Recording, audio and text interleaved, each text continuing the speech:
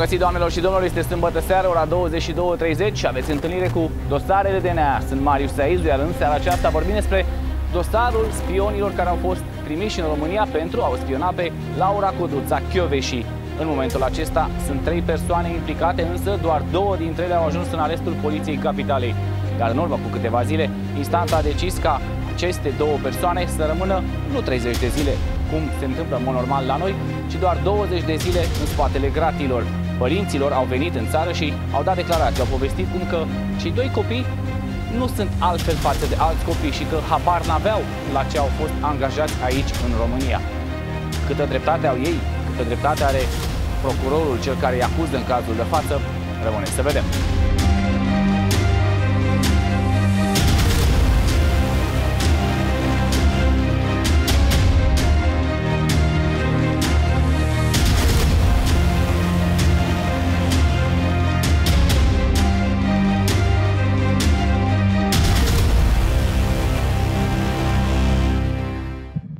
10 zile de libertate au obținut spionii șefei DNA de la magistrații Curții de Apel București care le-au redus mandatele de arestare de la 30 de zile la 20. Cei doi cetățeni israelieni au recunoscut acuzațiile și au avut parte și de o surpriză. Mamele lor au venit la București să îi susțină. Procurorii au descoperit că cei doi israelieni arestați deja au avut un complice, Yossi Barkstein, care a reușit să părăsească România imediat după reținerea colegilor săi. Anchetatorii au cerut mandat de arestare în lipsă pe numele israelianului și dacă îl vor obține, pot cere și mandat european de arestare și citarea bărbatului în Israel sau unde și are el domiciliul. Nu se știe însă care a fost rolul lui Yossi în operațiunea de hărțuire a procurorului șef al DNA sau dacă și el era angajat al firmei de spionaj Black Cube ca ceilalți doi. Cererea de arestare va fi judecată la sfârșitul lunii mai, deoarece procedura de citare în alte state durează cel puțin 40 de zile. Însă, care a fost filmul acestei acțiuni de spionaj lămurită până acum de anchetatori? Ce au făcut israelienii aici în România? Ron Weiner și David Glovitz au fost arestați pe 3 aprilie pentru 30 de zile, după ce au fost ridicați de la un hotel de 5 stele din capitală. Cei doi israelieni angajați de firma de spionaj Black Cube veniți în România încă din 30 martie, într-o zi de miercuri.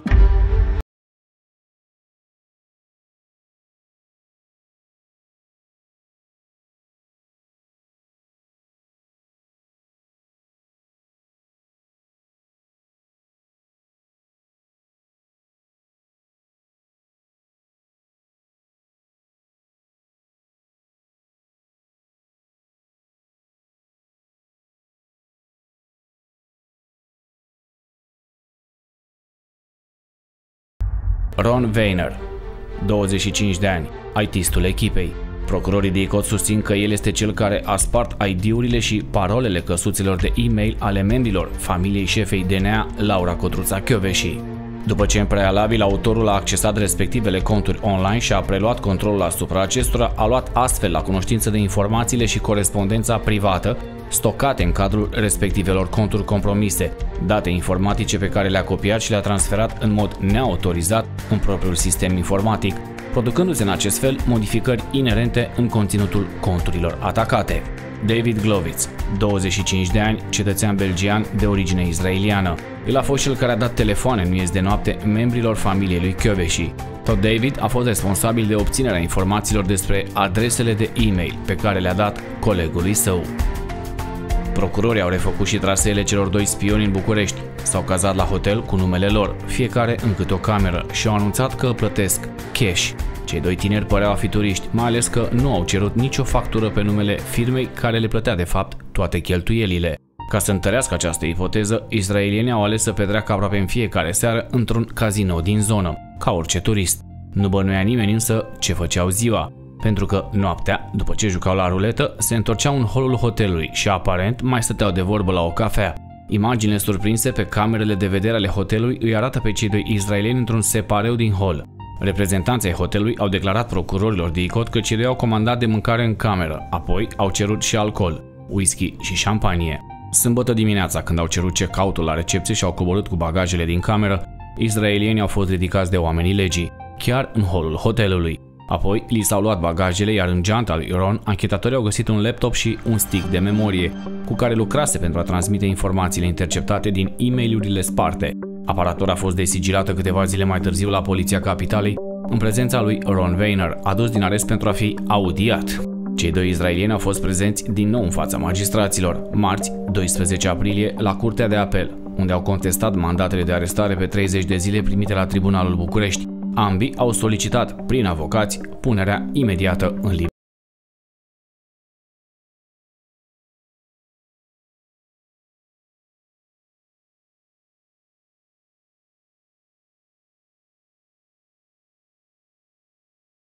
oficiali ale poliției, Ron Weiner și David Jeklovitz, au ajuns în fața judecătorilor. La ședința de judecată care s-a ținut cu ușile închise au asistat și mamele celor doi tineri venite din Israel. Mama și sora lui David Glakovitz au intrat în sală cu avocatul și au izbucnit în plâns când l-au văzut pe David încătușat.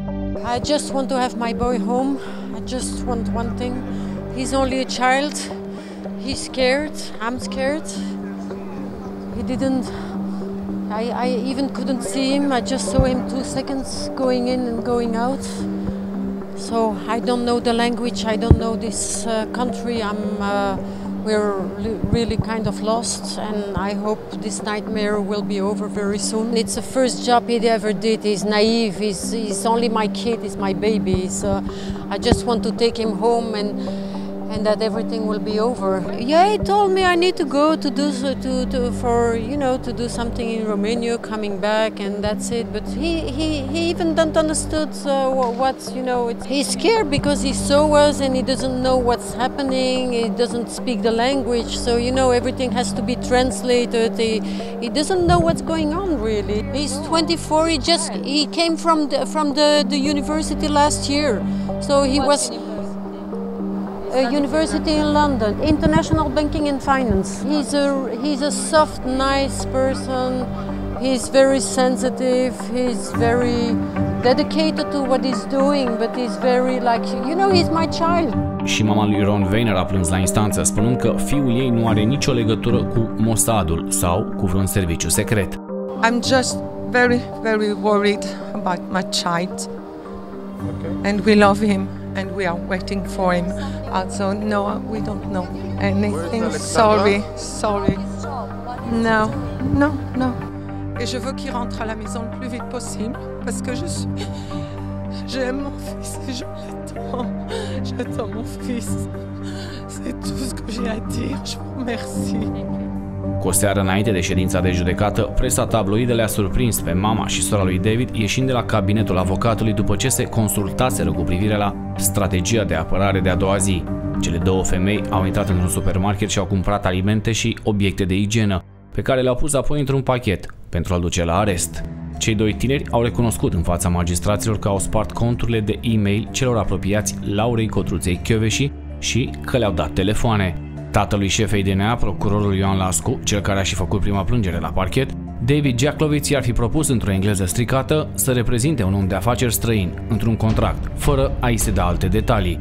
Fostului procuror i s-a părut suspectă solicitarea și și-a anunțat fica, pe Laura Codruța Chioveși, care a anunțat serviciile de informații și apoi parchetul. Din datele de până acum din anchetă reiese însă că informațiile strânse în laptopul și pe sticul de memorie urmau să ajungă la o altă persoană, pe care niciunul din israelieni nu a vrut să o nominalizeze.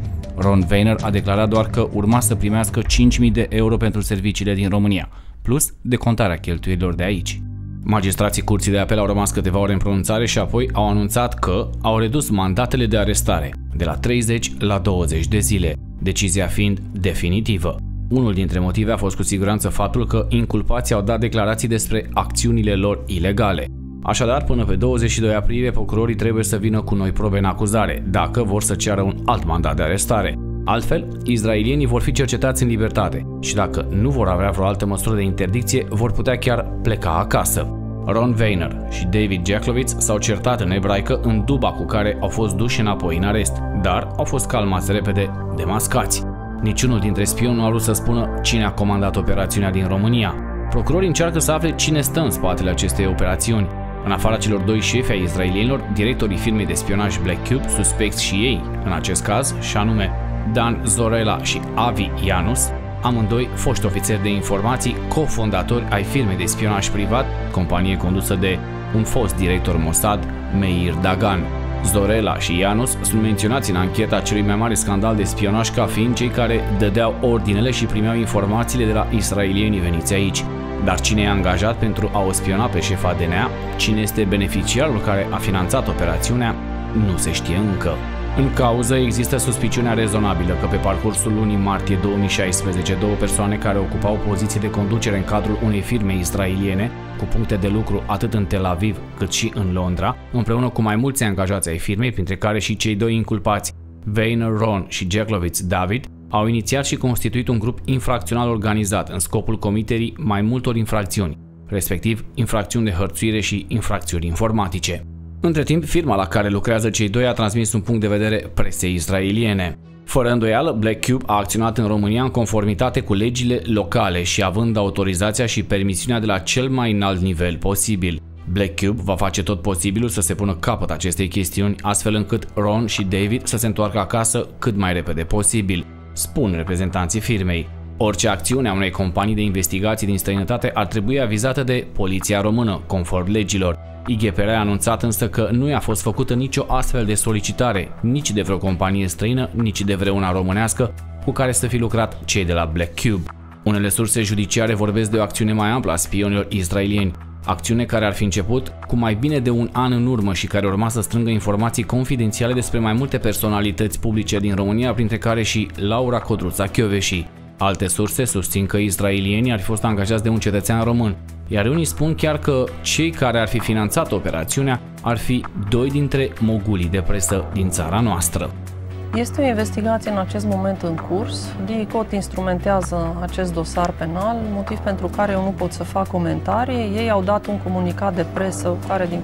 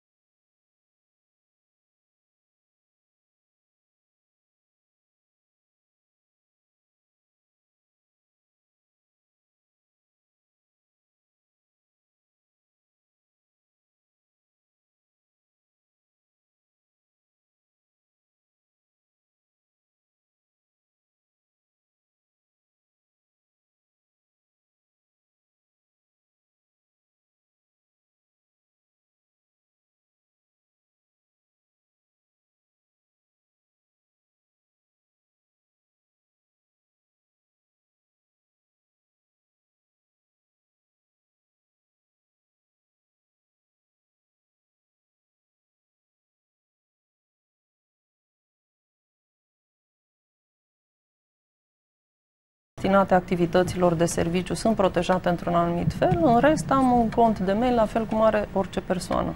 Israelul și România au relații excelente, iar recenta arestarea a doi cetățeni care lucrau pentru o firmă privată ce ar fi avut ca scop spionarea unui înalt oficial român nu va avea niciun impact asupra acestor legături, a declarat joi un diplomat de la Ierusalim, citat de Jerusalem Post.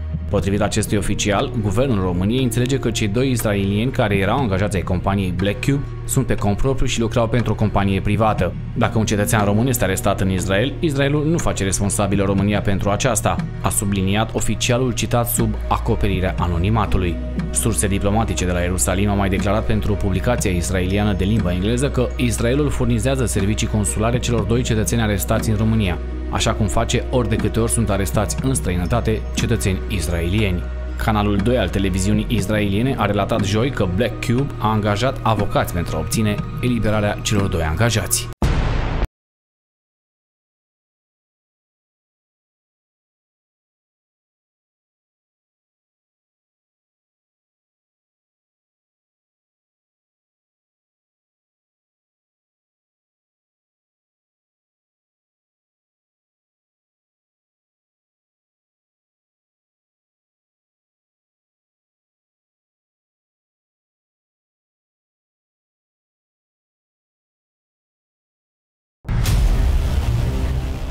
Au filat, au spart mail-uri și chiar au sunat membrii din cadrul familiei Laurei Codruței Chioveși, iar acum sunt în spatele gratilor.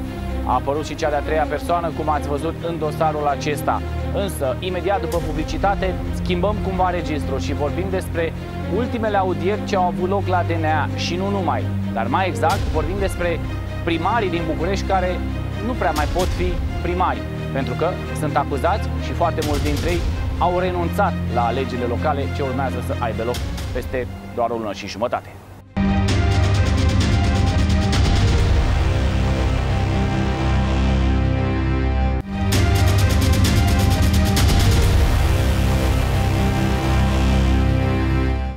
Am revenit, doamnelor și domnilor, sunt Marius Saizu și aveți acum partea a doua a emisiunii Dosarele DNA. Așa cum v-am promis la început, acum schimbăm cumva macazul, registrul, pentru că au fost extrem de multe audieri săptămâna aceasta la Direcția Națională Anticorupție. Foarte mulți actuali primari au ajuns acolo să dea declarații și mai mult decât atât, politicieni care aspirau cumva la funcția și fotoliul acesta de primar, fie că vorbim de primar de sectoare în București sau de primarul general al capitalei. Ultimul și poate cel mai important dintre politicienii care a ajuns în fața procurorului DNA este Ludovic Orban. Dorea hotărâul de primar al capitalei, doar că la ieșirea din DNA s-a ales cu o acuzație și mai mult decât atât a declarat că se retrage din funcția pe care ar fi vrut să o dețină, să o ocupe în urma alegerilor din primăvara aceasta, mai exact din iunie. Ludovic Orban este acuzat că ar fi cerut nici mai mult, nici mai puțin de 50.000 de euro de la un om de afaceri pentru a-i sponsoriza astfel campania electorală. Unde ar fi trebuit să ajungă banii? Vedeți acum. Incompetență, corupție, demagogie, bani negri pentru campaniile electorale. Așa arată deocamdată tabloul alegerilor pentru primarii din București. Șase din cei șapte primari, dacă să cotim cele șase sectoare și primăria capitalei, au probleme penale. Anchetele DNA ne arată cât de generalizată este corupția. Paradoxal însă, în unele cazuri, DNA le-a adus foștilor primari și actual candidați procente în plus în sondaje, cum este cazul lui Cristian Popescu Piedone. Nu numai că nu l-a afectat politic ancheta DNA de la clubul colectiv, dar fostul primar, care demisiona cu lacrimi în ochi după manifestațiile de stradă, spune acum că oamenii îl vor înapoi la primărie. Primăria Capitalei, Sorin Oprescu, fostul edil, arestat pentru mită. Cu banii primiți la saltea, salteaua canapelei din livingul casei de câteva sute de metri pătrați din afara Bucureștiului că în capitală avea doar un singur apartament. Ce au învățat din lecția dată lui Oprescu politicienii care vor să ia locul? Nimic. Cel puțin așa pare la prima vedere.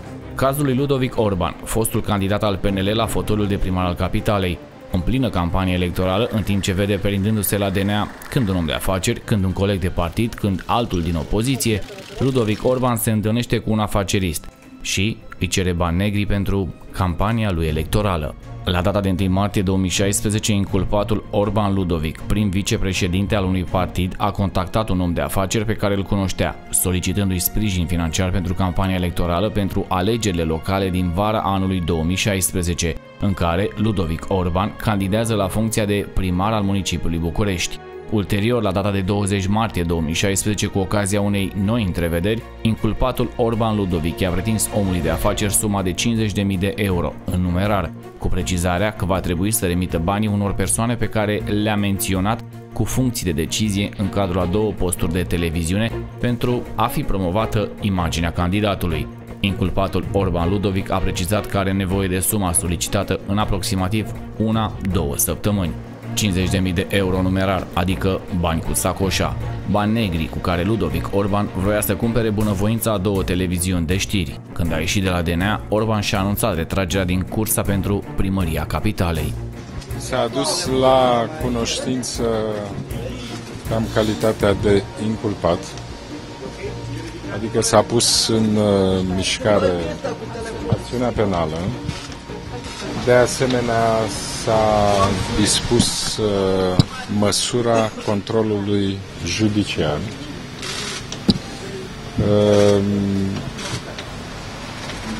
legea 78, articolul 13, exercitarea privitor la funcția politică, obținerea de foloase necuvenite în exercitarea funcției politice.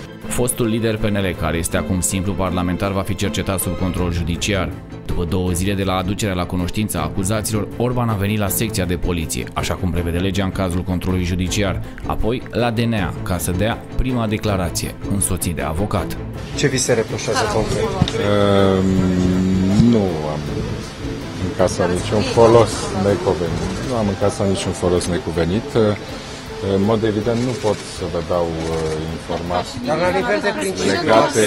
cerut avantaje pentru cineva? Nu pot uh, să vă... Nu, nu, nu este legată, este legată de uh, ceva petrecut mai de curând. Dar, repet, nu pot să vă furnizez informații vorba de finanțarea campaniei dumneavoastră electorale? De dosar. Ca atare, permiteți-mi să vă aduc la cunoștință numai ceea ce am convenit că pot să aduc la cunoștință împreună cu procurorul. Nici acest lucru nu pot să vă aduc la cunoștință. Veți renunța la candidatură? Vă retrageți din uh, cursa pentru primăria capitalei în condițiile în care ați fost inculpat? După cum bine știți, uh, Partidul Național Liberal a susținut permanent uh, lupta împotriva corupției, a susținut permanent în uh, toate ocaziile în Parlament și în alte situații solicitările formulate de DNA, solicitările formulate de justiție și nu voi face nicio excepție în acest caz. Liderii PNL s-au repliat cam greu după această lovitură, mai ales că Orban era al doilea candidat al lor la aceste alegeri după ce fusese retras din cursă Cristian Bușoi. Acum au ales o personalitate publică, din afara partidului, pe fostul lider al studenților din piața universității, Marian Munteanu. Nou intrat pe lista edililor chemați la DNA să dea socoteală pentru corupție este Robert Negoiță. Actualul edil al sectorului 3 și candidat pentru nou mandat, pe el nu l-a speriat așa tare ancheta DNA, pentru că a anunțat la ieșire că nici gând să renunțe la candidatură, pentru că este un dosar vechi și abia așteaptă să-și dovedească nevinovăția. Aștept de foarte multă vreme să rezolvăm această problemă. Uh, sper să ajungem cât mai repede în instanță cu, această, cu acest dosar și să dovedesc acolo nevinovăția mea. Despre ce e vorba? Că ați spus că ne veți dezvălui. De niște fapte de când eram eu în zona de management privat. Și v-a acuzat domnul Blejnar de vreo evaziune, de, de ceva? Cu, exact. Exact, Sorin Blejnar. Ce legătură ar avea cu corupția? De ce ar fi la DN? Nu are nicio legătură cu activitatea mea de când fac management public sau cu demnitate publică. Nicio da, legătură. Ar fi vorba de un prejudiciu pe care l-ați fi provocat, așa cum spunea domnul Blejnar? Acum mi s-a dat o situație, un punct de vedere pe care trebuie să-l studiez. O expertiză, adică? În orice variantă, mă bucur că începe să lucreze pe dosar și sper să se rezolve cât mai repede. că aveți calitatea de suspect. Care ar fi acuzația? Îmi dați voie să studiez documentele Ancă nu știți? și după aceea. Un raport al ANAF condus în 2009 de Sorin Blejnar arăta că Robert Negoița a încercat să vândă apartamente din blocurile construite de firma sa pe persoană fizică, nu pe persoană juridică, așa cum ar fi trebuit. Prejudiciul adus statului peste 77 de milioane de lei. Pentru a evita plata obligațiunilor fiscale aferente veniturilor realizate, negoiță Robert Sorin a folosit un procedeu ingenios prin care cheltuielile cu realizarea imobilelor în nume propriu au fost evidențiate contabil și declarate fiscal de societăți pe care le administra, însă veniturile nu au fost evidențiate. Prin urmare, raportat la cele trei ansambluri rezidențiale, negoiță Robert Sorin nu a declarat activitatea economică prestată ca persoană impozabilă în scopuri de TVA. Astfel, deși imobilele Scriptic au fost edificate pe persoană fizică, negoiță Robert Sorin, după finalizare, acestea au fost prezentate la toate târgurile imobiliare drept ansamblu rezidențiale, aparținând unei societăți la care acesta era acționar. Faptul că Robert Negoiță a încercat să fenteze fiscul cu vânzarea apartamentelor din cele trei complexuri construite de firma sa nu era vreun secret. Vara trecută, ANAF a scos la licitație publică 60 dintre apartamentele lui Negoiță, care era deja primar. Cele 60 de apartamente aveau suprafețe între 30 și peste 100 de metri pătrați, valoarea de pornire fiind de 66, respectiv 122.000 de lei, adică 50% din valoarea de evaluare, conform anunțului fiscului. De altfel, pentru datoriile uriașe pe care le are la ANAF, Robert Negoiță are poprire pe salariul de primar. are de unde plăti însă, conform declarației de avere care are vreo 20 de pagini, cel mai bogat primar al capitalei este cu siguranță Robert Negoiță, 33 de terenuri, 121 de clădiri, adică și apartamente, și case de locuit, părți sociale de zeci de milioane de lei, dar și datorii de milioane de euro. Robert Negoița a mai avut probleme și în partid când a fost înlocuit la șefia organizației din București. Asta după acuzații grave de șantaj. Șefia PSD București a fost preluată atunci de Gabriela Fire, actual candidat al PSD la primăria capitalei. Doi dintre foști edili care au dosare la DNA, dar care nu au renunțat la cursa pentru fotoliul de primar în sectorul pe care l-au condus ani de zile. Cristian Piedone de la sectorul 4 și Marian Vanghelie de la sectorul 5.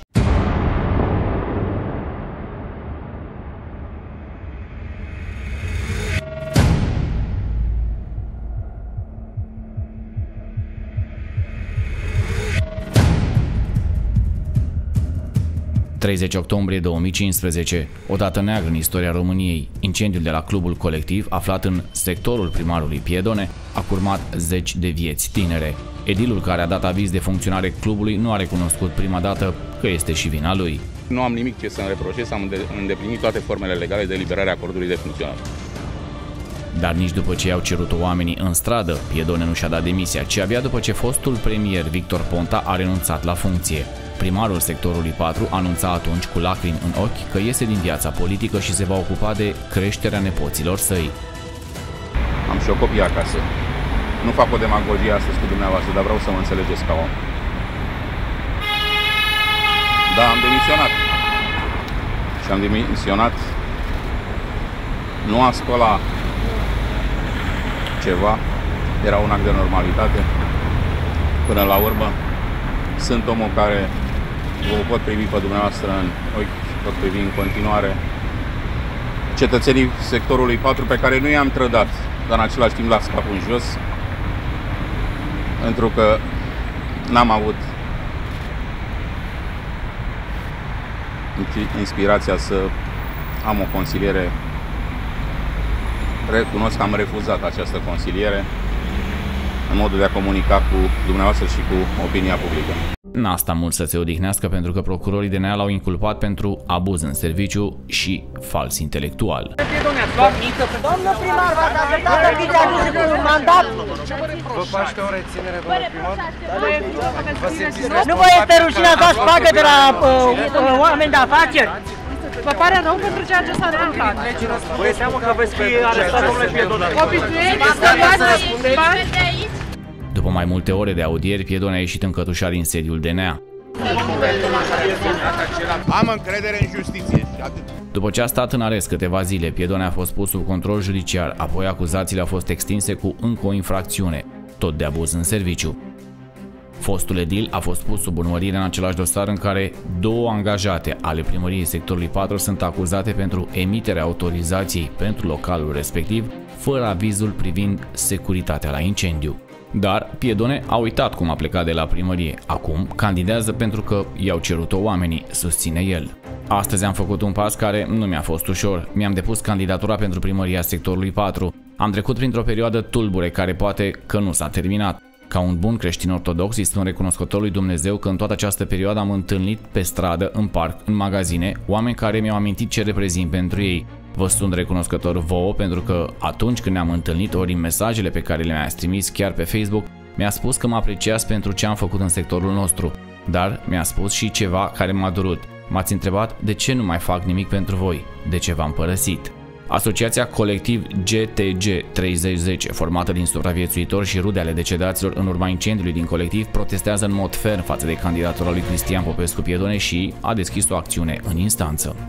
Pur și simplu nu mai suportăm să fim uh, bagiocoriți și mințiți de toate, toți reprezentanții autorităților uh, vinovați, în acest caz colectiv. Uh, gestul dumnealui de a alege să candideze în condițiile în care cu siguranță are o vinovăție în acest caz, este un act care pe noi ne lezează și nu atât pe noi cât care încă suntem în viață, cât memoria celor care au dispărut în acest, în acest accident tragic. Deci mă indignă încă pentru că este un om care este cercetat penal, din câte știu eu, pentru acuzații de abuz în serviciu și în al doilea rând, prin candidatura lui, el ar trebui pe viitor, dacă va fi ales, reales primar al sectorului 4, va fi responsabil în continuare de siguranța cetățenilor din acel sector. Și nu consider că este normal să mai fie în această funcție având în vedere ce s-a întâmplat. Nu ni s-a părut fair play, atâta timp cât a declarat că se retrage din viața politică. Și un pic de onoare. Și-a dat uh, demisia și a spus că se retrage din politică și acum brusc se întoarce. Cum a zis uh, și Cristian Popescu, parcă onoarea ține 5 luni. Deci n-am ce să zic având în vedere că demisia sa din funcția de primar a avut loc pe fondul dramei petrecute la clubul colectiv, respectiv una dintre cele mai mari catastrofe cu aflux masiv de arși din istoria nu doar națională, ci și internațională recentă, nu credem că domnia sa mai poate executa o funcție prin care să fie responsabil de siguranța zilnică a unui număr atât de mare de cetățeni cum este cazul sectorului 4 al capitalei. Un candidat pentru funcția de primar în această perioadă, post-colectiv, trebuie să fie o persoană asupra căreia să nu planeze nicio umbră legată de conduita sa morală, civică și mai ales o persoană care să nu lezeze prin candidatura sa memoria celor 64 de victime ale incendiului și nici să adâncească și mai tare suferința supraviețuitorilor sau a familiilor, prietenilor, apropiaților, celor care au avut de suferit în urma acestei tragedii. În dosarul lui Piedone de la DNA și Primăria Sector 4 a depus o cerere de despăgubire, 100 de milioane de euro pentru că i s-ar fi prejudiciat imaginea instituției. Parchetul general a anunțat că în cel mult 2-3 săptămâni și ancheta privind moartea celor 64 de tineri din clubul colectiv va ajunge în instanță. În această cauză, patronii clubului și reprezentanții firmei de artificii sunt acuzați de ucidere din culpă și vătămare corporală din culpă. Fostul edil de la sectorul 5, Marian Vanghelie, cercetat și el de DNA, nu s-a înscris încă oficial în cursa pentru primărie, dar cochetează cu ideea. 15 ani primar la sectorul 5. Cum ați intrat în politică? Și cu plus unul ăsta care sunt suspendați 16. Am intrat în politică apro- apro- apro- am intrat în politică fiind apropiat de Miron Mitrea. Uh, m-am privatizat în 90, am făcut uh, foarte mulți bani, am uh, vrut să susțin sindicatele pentru că mi se păreau că e un lucru firesc și normal și sindicatele sunt un lucru sănătos într-o țară. Da, nu, am avut o problemă, că n-am avut timp cu cartea, pentru că nu neapărat că nu mi-a plăcut. Eram cel mai bun la matematică și îmi place foarte mult șahul. Dar, din păcate, nu am avut timpul necesar pentru că, având probleme economice și eu și familia, am plecat un pic pe stradă ca să văd cum mă descurc. Sunt ingenios acum. Dacă vă spune că trăiesc dintr-un spațiu comercial care e sequestrat, dar pot să-l închiriez, vă sună bine? Nu, sună puțin. A, acum se numește business, atunci se numea business. E, pot, știu ce să fac, să fac un business, să pot să iau câteva mii de euro, nu e o problemă. Nu am niciun cont în străinătate, n-am niciun... Ați văzut ce a apărut zilele astea? Să fie sănătoși. La mine e totul la vedere în România. Persoane au conturi în străinătate. Da, bun, sunt oamenii mai sofisticați în minte, ce să le fac? Să subliniem, revelioane pe 8 ani, în care nu s-au luat bani, un contract de sponsorizare, vin și alte lucruri care s-au, au fost uh, nevoie de ele pentru acțiuni publice care au fost verificate de Curtea de Fonduri pe timp de 10, 11, 12 ani. Am făcut un aghiazmatar. Știți ce acela? Știți ce acela? Se pune aghiazmă unde oamenii se învârt așa, sponsorizare uh, la o biserică în mijlocul sectorului. Uh, am dus niște tiruri de apă la sinistrat și multe lucruri pot să vă spun, care sunt în prejudiciul meu. Deci dacă aceste lucruri se numesc, uh, cum să zic, uh, comisioane, credeți-mă că mâine mă apuc din nou și le iau. Sunteți nevinovat? E un cuvânt atât de, de complex a spune ești vinovat sau ești nevinovat. Eu pot să vă zic altfel. Eu pot să vă zic că am câștigat aproape 6 procese și am două nupuri. Procurorii DNA l-au trimis în judecată pe Marian Vanghelie pentru că din 2006 până în 2014, în calitate de primar al sectorului 5, a ajutat de câțiva apropiați ar fi primit peste 30 de milioane de euro, comision din contractele pe care primăria le dădea pe ochi frumoși unor anumiți oameni de afaceri. Vanghelia a stat în arest din martie până în iulie 2015, iar dosarul său este trimis acum la instanță. Vanghelia a fost primarul sectorului 5 din 2000, toate mandatele câștigându-le din poziția de lider al PSD. În noiembrie 2014 a fost exclus însă din PSD alături de Mircea Joana, iar câteva luni mai târziu, cei doi au anunțat înființarea unei noi formațiuni politice. Alți foști edilei sectoarelor din capitală care au probleme la DNA sunt Andrei Chiliman de la sectorul 1 și Nicolae Unțanu de la sectorul 2, ambii cu vechitate. Chiliman era la al treilea mandat, iar Onțanu la al patrulea. Niciunul nu și-a anunțat însă intenția de a participa la alegerile din iunie 2016. Am văzut cam care sunt acuzațiile aduse de procurorii DNA politicienilor ce ar fi dorit să ocupe fotolul acesta de primar. E adevărat, câțiva dintre ei și mai ales Cristian Popescu Piedone dorește în continuare să candideze, însă un grup de tineri, victime ale incendiului colectiv din 30 octombrie 2015, au făcut o petiție, mai mult decât atât, o plângere la instanță prin care contestă participarea la alegerea lui Piedone. Ce va decide din instanța rămâne să vedem. Însă, imediat după publicitate, vom vorbi despre un alt primar care până acum n-a ajuns încă la DNA.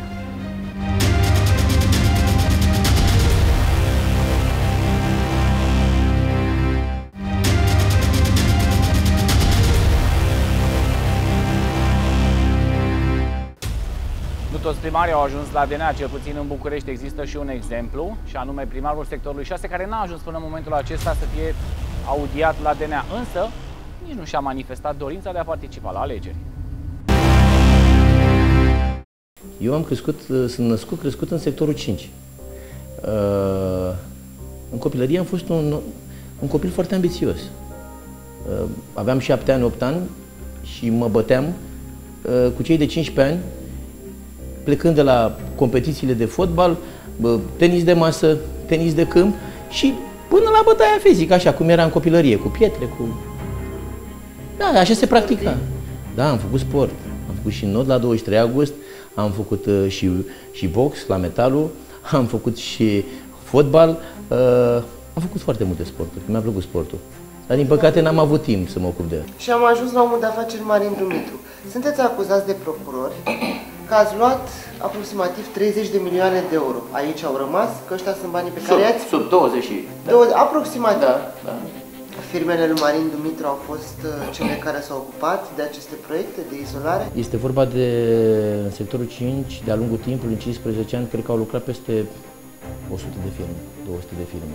Deci Marin Dumitru, Marin Costache, Marin Iordache, Marin Ionel, deci de care Marin vreți dumneavoastră.